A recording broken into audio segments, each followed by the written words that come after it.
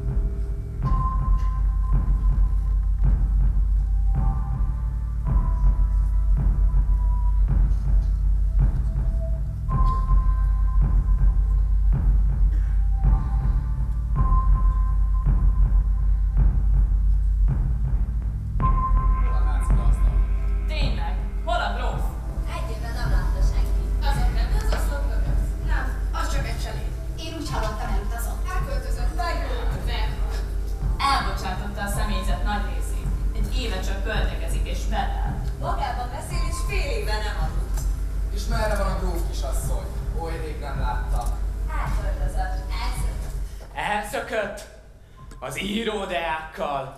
Irodák! Miféle irodák? Hát egy uh, irodák. Egy jelentéktelen közlemény. Egy senki. Na ez már érdekel. Én egyszer láttam őket. És milyen volt? Magas? Éppen a palota kertjében sétáltam, amikor hirtelen valaki előugrott a bokrok közül. A kisasszony már várta. Magas volt, erős, jóképű, és Istenem, olyan jól néztek ki együtt.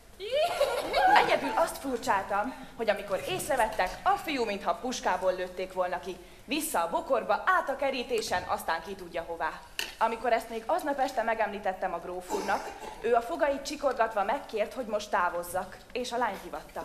A lány kettessével szedte a lépcsőfokokat, és a lépcsőfordulóban még megállt. Rám nézett.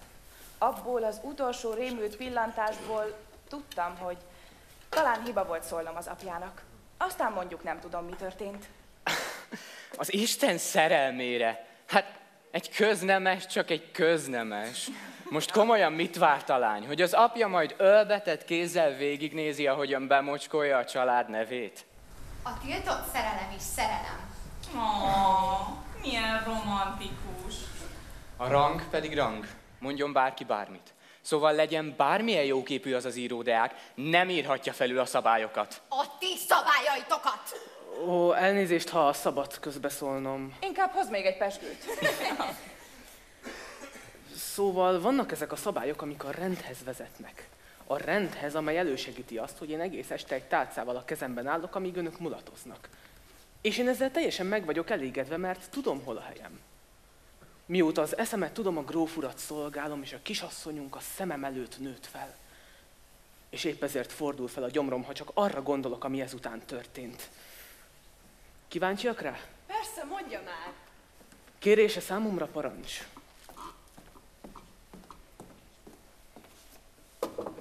Szóval, másnap a gróf úr magához hivatja az íródeákot.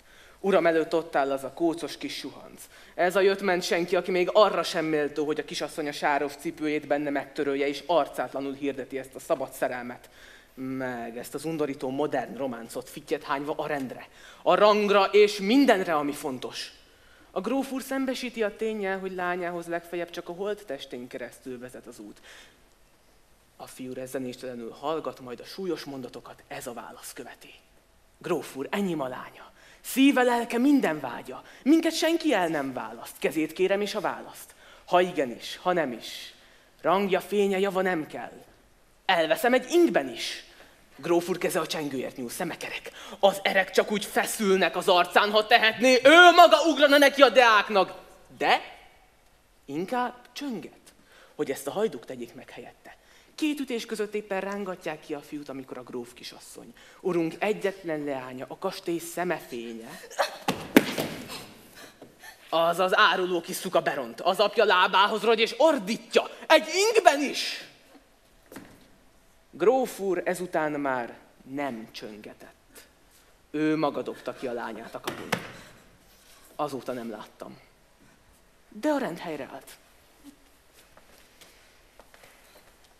Legalább a lány szabad. Ezt, ezt most nem gondolhatod komolyan. Szóval te tényleg inkább élnél nyomorban, kitagadva, szégyent hozva a családodra, mint sem, hogy kövesd apád egyetlen egy szabályát, amivel ráadásul csak jót akart neked? Hogy utána azzal lehessek, akivel igazán szeretnék?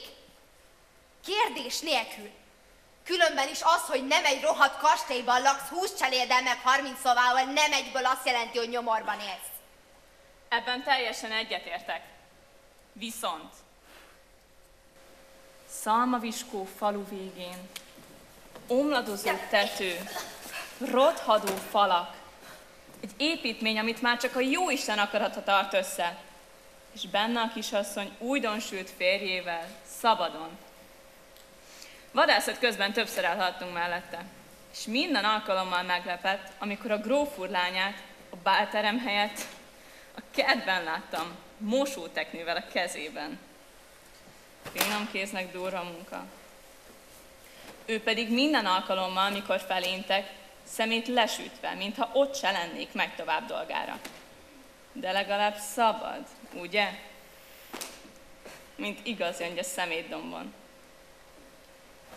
Később már nincsen íródeák. Csak ő maga most főz, csak már nincs kire.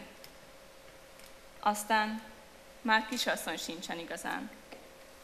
Csak egy szakadt, rongyos, gyámoltalan ány, aki zavartan bolyong a kis kunyhó kiskertjében.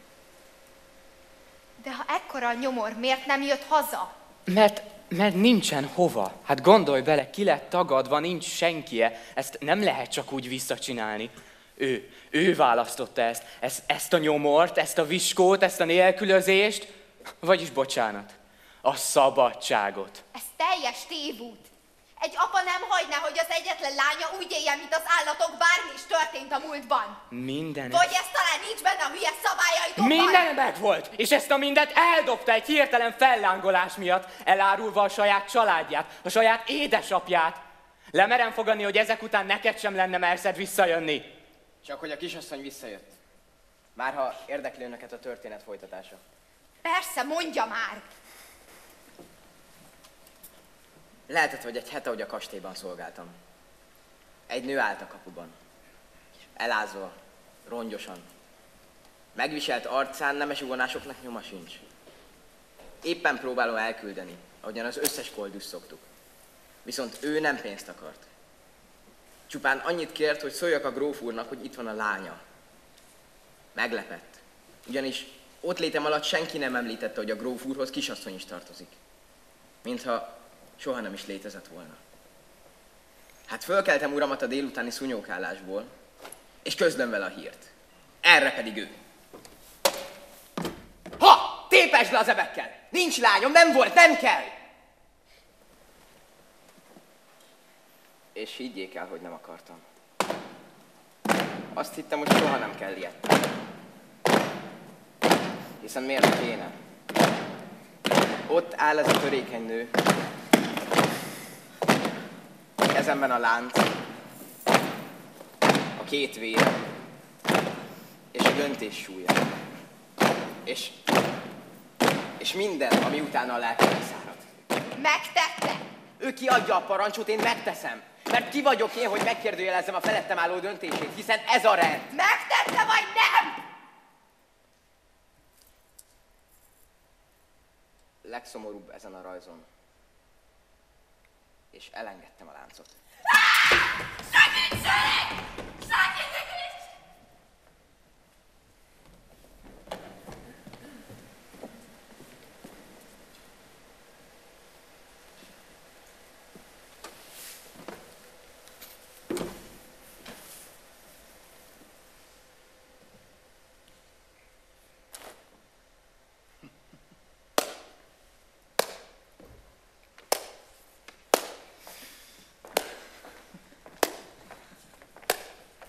Gróf úr, elnézést, mi csak...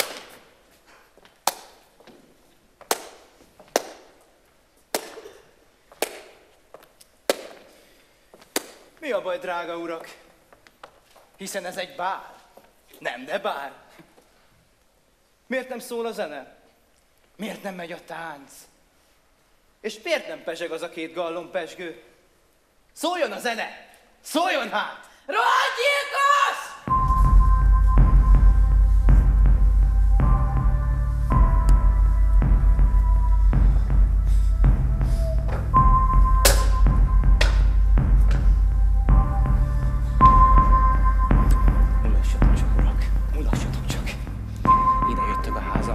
Múltamat bolygatjátok, majd a nyomoromon élősködtök! Ti rohadt paraziták!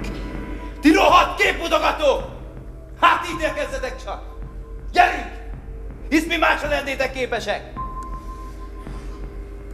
Akarjátok látni az utolsó képet? Na halljam! Látni akarjátok?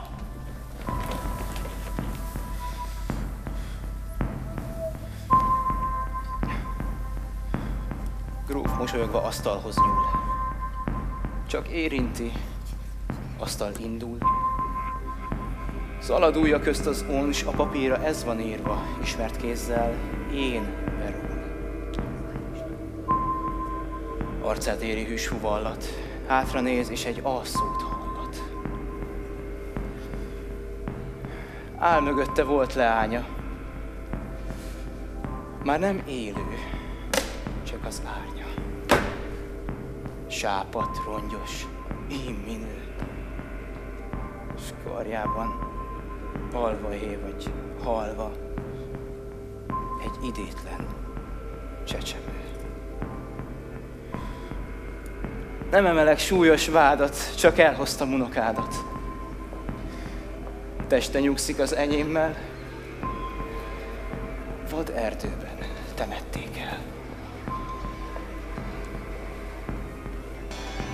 Nézd, ha élne.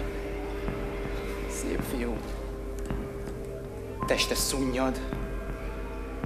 Nem költ még fel. Nem volt arra ért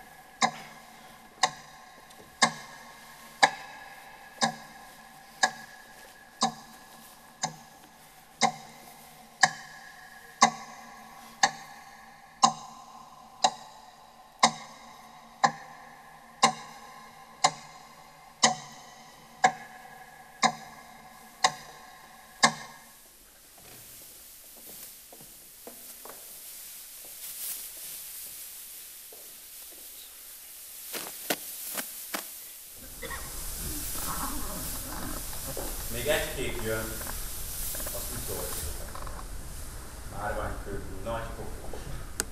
Benne egész sort rejtek itt a címerét most megfordítva vésték be a főlapon. Ez a sír volt, nem lesz kicsi.